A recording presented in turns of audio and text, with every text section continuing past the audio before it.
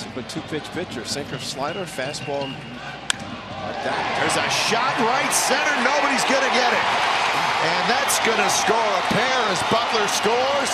Smolinski scores, and it's 3 to 2.